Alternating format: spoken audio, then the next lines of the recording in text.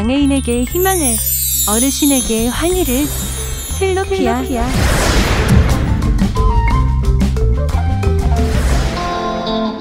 작년 2023년 11월 20일부터 장애인 보조기기 급여의 변동사항이 생겨서 소중한 혜택 잘 받으시라고 알려드립니다. 이번 변동으로 급여 절차는 동일하지만 세부 기준과 지원 금액에는 변동사항이 생겼습니다. 전동 휠체어는 기존에 하나로 처리되던 게 두 가지로 세분화되었습니다.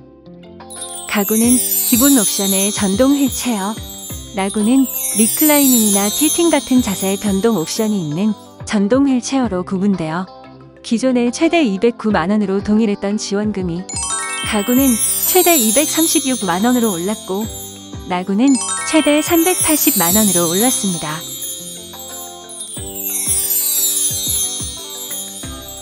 내구연한은 6년으로 가군과 나군 동일하게 유지됩니다.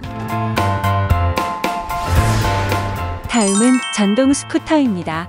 이번 변동으로 전동 스쿠터의 명칭은 의료용 스쿠터로 바뀌었고 지원금도 최대 167만원에서 192만원으로 25만원이 올랐습니다.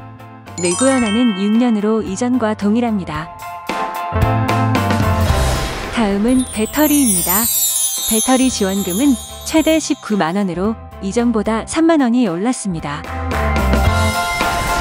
장애인 보조기기 급여 변동사항에 대한 더 상세한 내용을 원하신다면 필로피아 고객센터로 문의해 주십시오. 이번 변동으로 생긴 소중한 혜택을 모든 분들이 잘 받으시길 바랍니다. 장애인에게 희망을, 어르신에게 환희를 필로피아. 필로피아.